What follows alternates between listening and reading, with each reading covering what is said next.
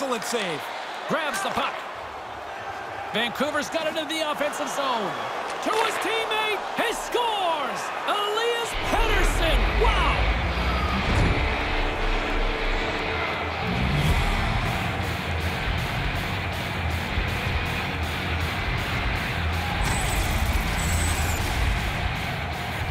No way sometimes for the goalie to catch up to the pass.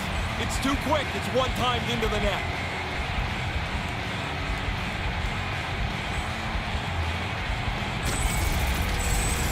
Nashville's going to switch things up between the pipes.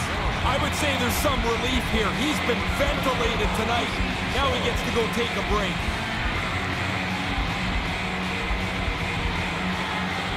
The Canucks make